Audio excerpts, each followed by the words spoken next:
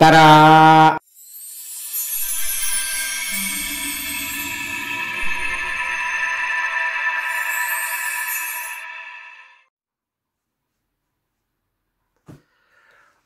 mis eh, caros amigos. En nuestro video de hoy vamos a volver a armar el distribuidor de combustible como prometí. Y se lo mostraré ahora mismo. Así que vamos al video. ¿Vale?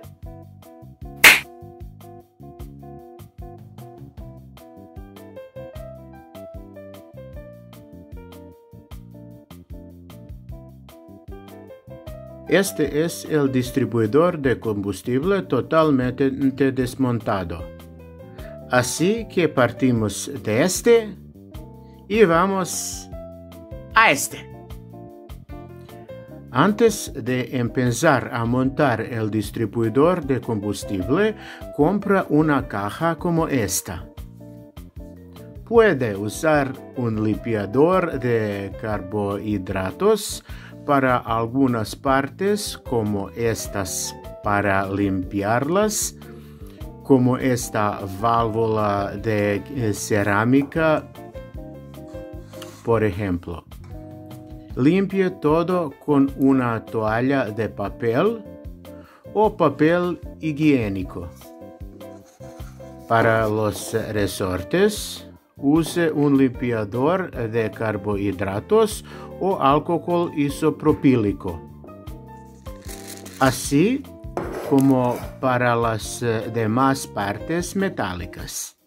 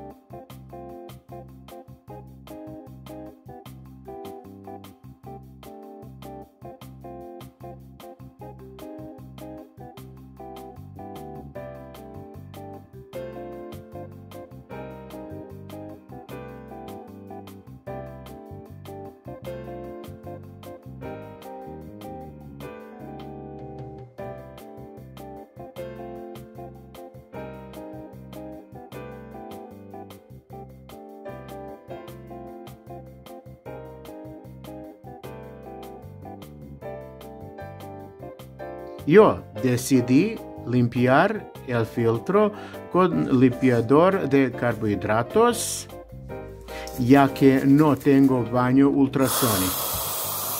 Déjalo en remojo durante media hora. Después de limpiar todas las piezas, colóquelas en la caja. Este trabajo requiere una limpieza absoluta. Sus manos deben estar limpias al igual que su lugar de trabajo. Por eso vamos a utilizar toallas de papel. Lo mejor sería usar un baño ultrasónico pero también se puede usar acetona o ácido cítrico en combinación con agua destilada en el punto de ebullición durante media hora. Lo que la gente de Bosch ha estado usando antes de que se inventara el baño ultrasónico. El ácido cítrico es el menos nocivo para el aluminio y después hay que lavar todas las piezas con alcohol isopropílico. Yo no tengo baño ultrasónico porque no lo necesitaba. Así que no puedo mostrarles cómo se ve usando un baño ultrasónico. ¿Cómo funciona todo? Como el combustible entra aquí y el barril descansa así, el combustible entra en estos agujeros. Aquí tenemos el émbolo que está siendo empujado hacia arriba por la placa.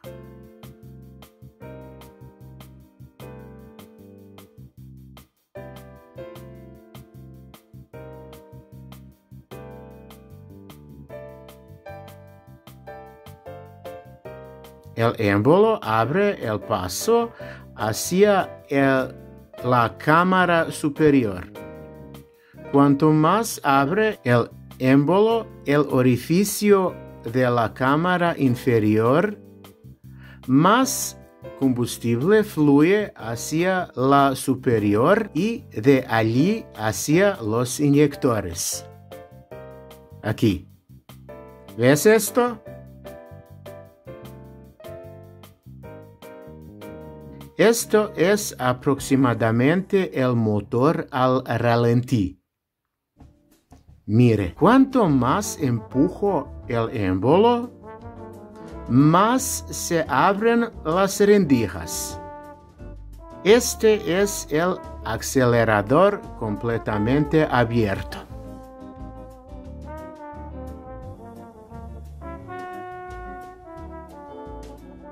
Así funciona todo.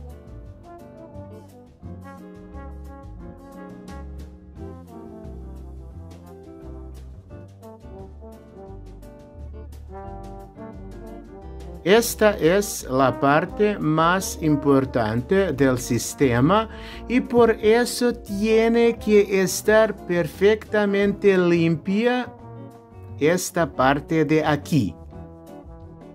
Su filtro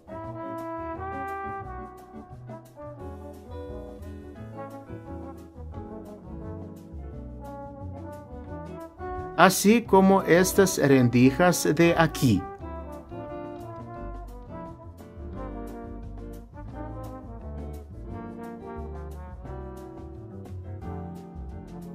Por eso sería recomendable limpiar esta parte con aire comprimido si lo tiene.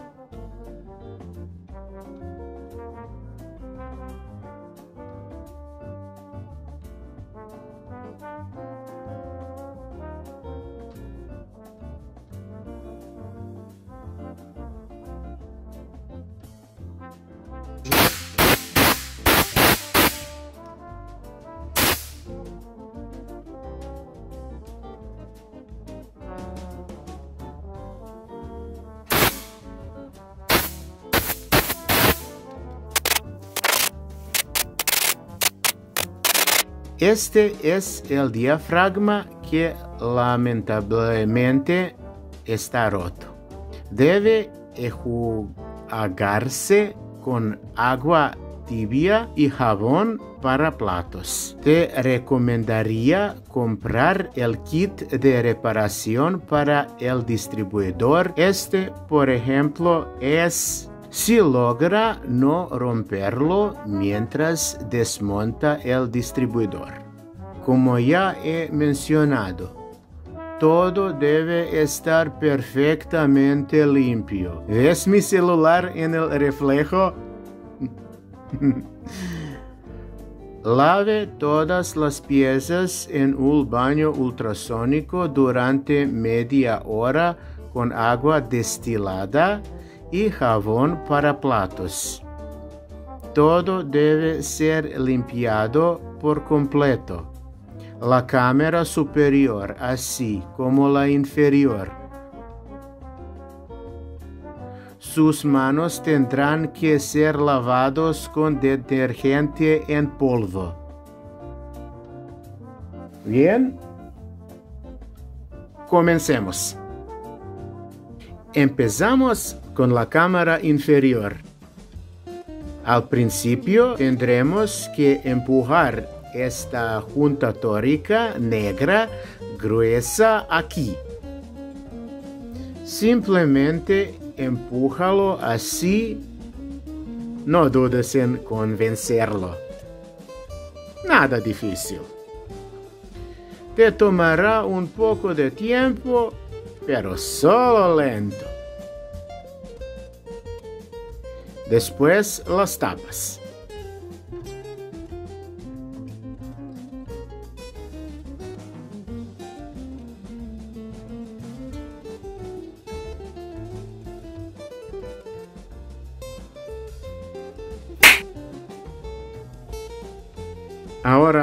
Las cuatro están en su lugar. Los resortes de la cámara inferior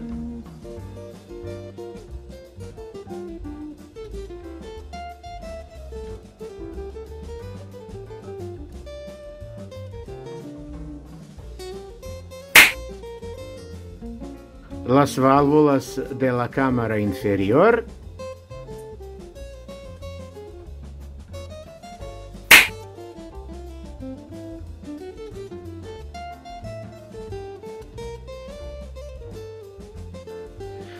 El diafragma que solo puede ir en una dirección.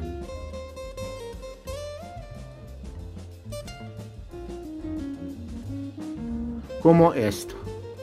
Excelente. La próxima operación va a ser muy interesante. Pero antes de continuar, me gustaría mostrarles algo. Este es el resorte, el resorte y la válvula de la cámara superior y hablando de la EHA. Esto es lo que sucede cuando la mezcla es rica o magra. Esto es lo que no puedes ver, por supuesto. Si sucede que la corriente en el EHA mueve la placa deflectora de esta manera, la mezcla se volverá extremadamente pobre.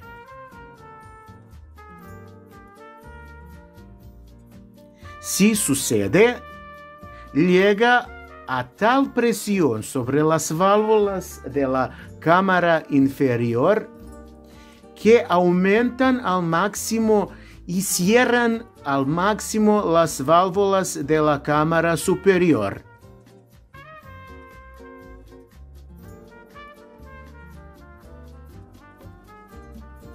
Así. Cuanto más cerradas, estén las eh, válvulas eh, de la cámara superior, menos combustible fluirá a los inyectores y, por lo tanto, la mezcla será más pobre y viceversa. Cuando más vaya el deflector hacia este inyector,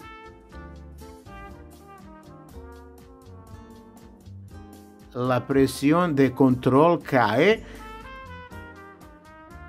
y la mezcla se va a enriquecer por completo. El EHA va a hacer tal corriente que las válvulas de la cámara inferior van a caer y por lo tanto las válvulas de la cámara superior se abrirán completamente. Cuanto más se abren, más combustible fluye hacia la cámara superior y hacia los inyectores. Ahora quiero mostrarles cómo conectar el resorte y la válvula de cerámica. Estos dos los vamos a poner aquí. Si miras, el resorte tiene forma de cono.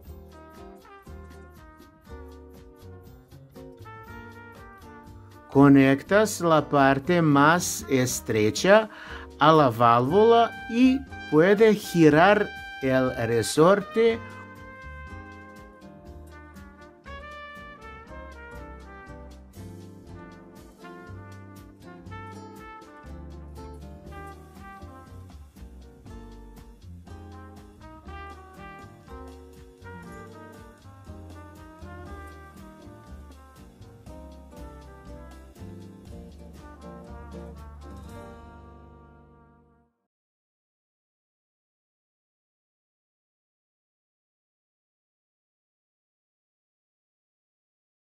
o incluso presionarlo hacia abajo. En algún lugar será más fácil, en algún lugar no. O simplemente haz una rotación como esta.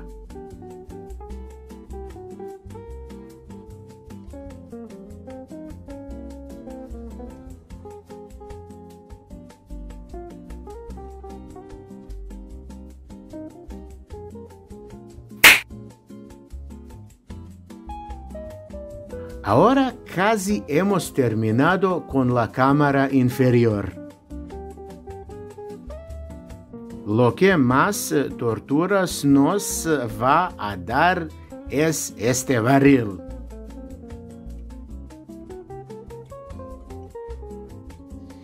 El primer lugar, el filtro.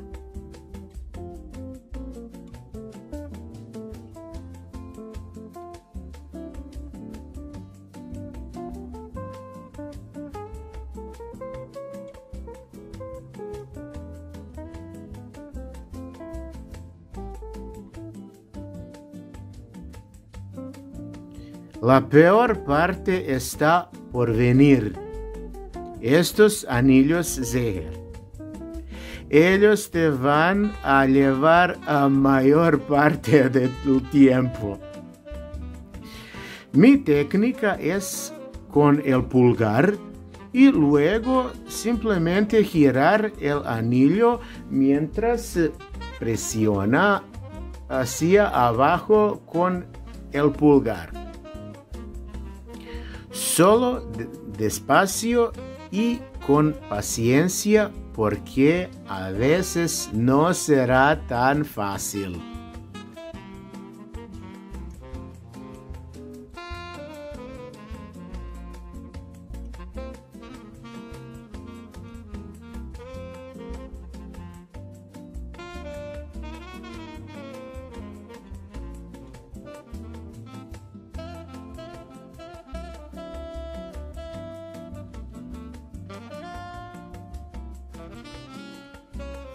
Bien. Lo siguiente, esta junta tórica negra. Hasta ahora hemos hecho gran parte del trabajo.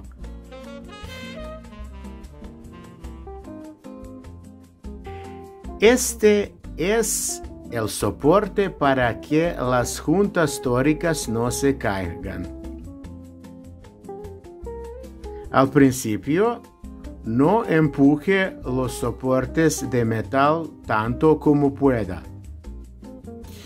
De esta manera evitará que las juntas tóricas se caigan.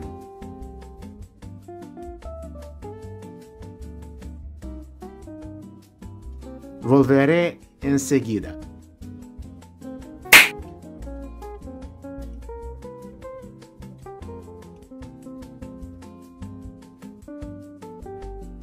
Para la próxima operación necesitaremos eh, guantes así como el aceite.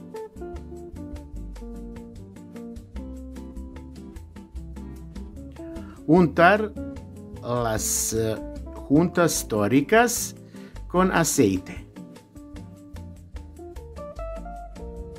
Nunca pegue los soportes lo más lejos que pueda porque le resultará más fácil colocar las juntas tóricas. De lo contrario, se caerán.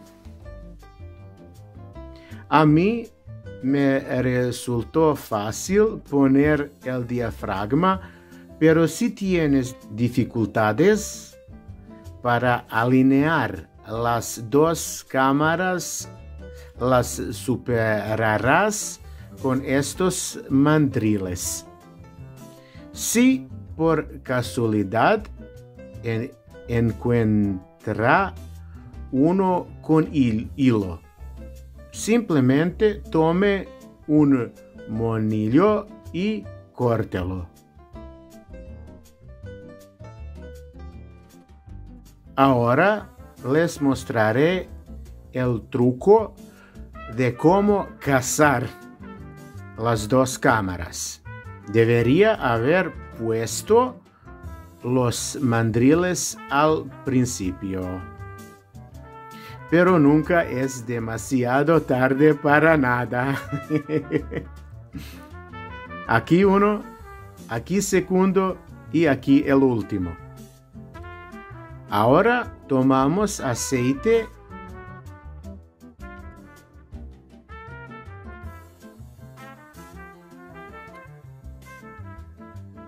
y vamos a lubricar esta parte de aquí para que el barril se deslice más fácilmente.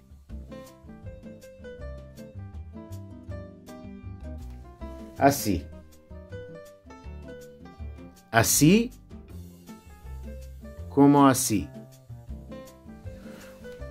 Lubrique el barril también en su parte inferior.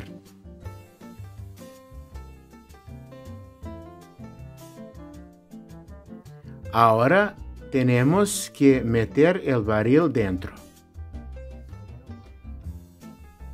Debido a que la cámara superior va así, el corte en el barril debe apuntar hacia este cilindro y ese es este de aquí. Tome el barril, dele la vuelta y busque el corte.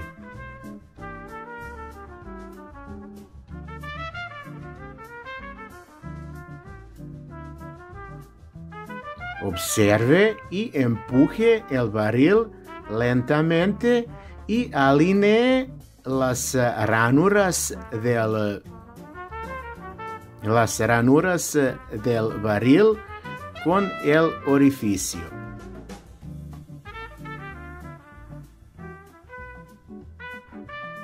Justo como esto.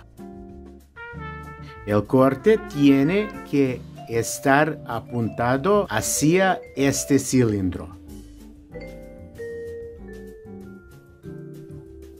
Después de asegurarnos de que el orificio y la ranura estén apuntados hacia este cilindro y después de lubricar un poco esta parte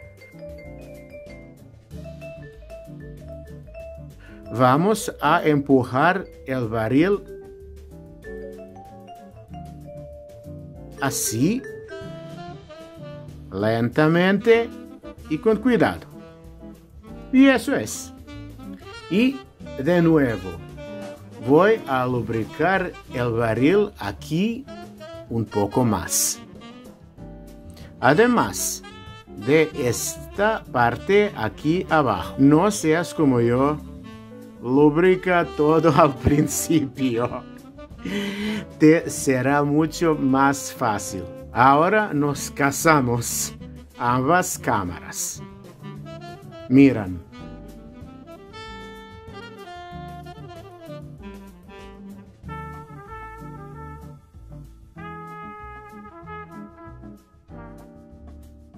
Ahora alineamos los mandriles con los agujeros. Aquí y ahora bajamos la cámara lentamente. Y ahora nosotros solo levantamos el distribuidor. Ahora solo presiona fuerte y listo. Uno, dos, dos y medio.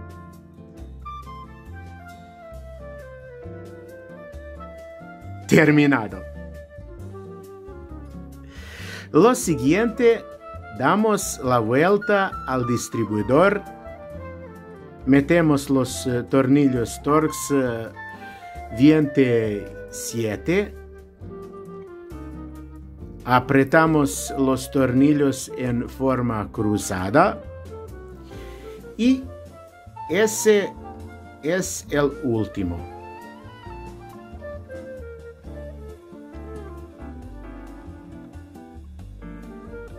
Si me preguntas por las especificaciones de par, está entre 7 y 10 Newton metro. Nada más de esto. Ahí. Eso es todo.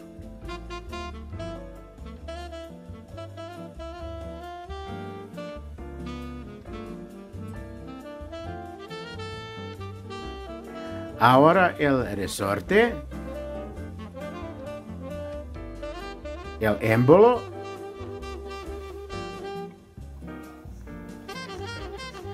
Eso es lo que me gusta. Ahora la calza.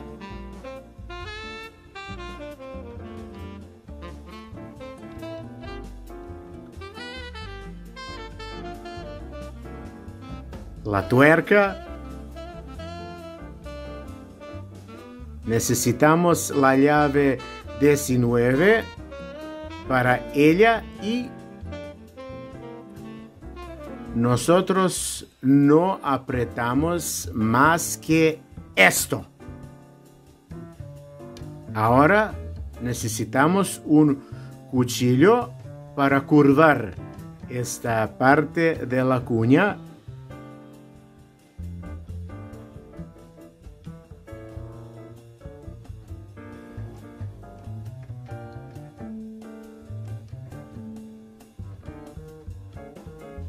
como esto. Probablemente las pinzas eh, de punta. Esto ahora es muy importante. Nosotros tomamos la manga y el anillo de sellado. Ojo cuando pidas el kit.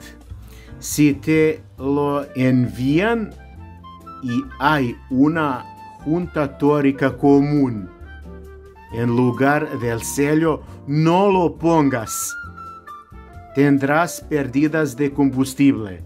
Como puede ver, este tiene forma de cono y rara vez se estropea. La parte más ancha de abajo va hacia abajo.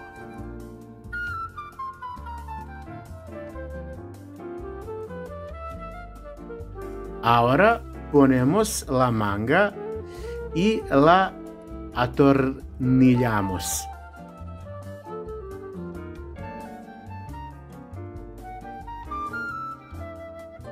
Ahora cogemos la pinza y tenemos que ajustar el espacio entre la tuerca y el manguito que tiene que ser de 0.6 milímetros.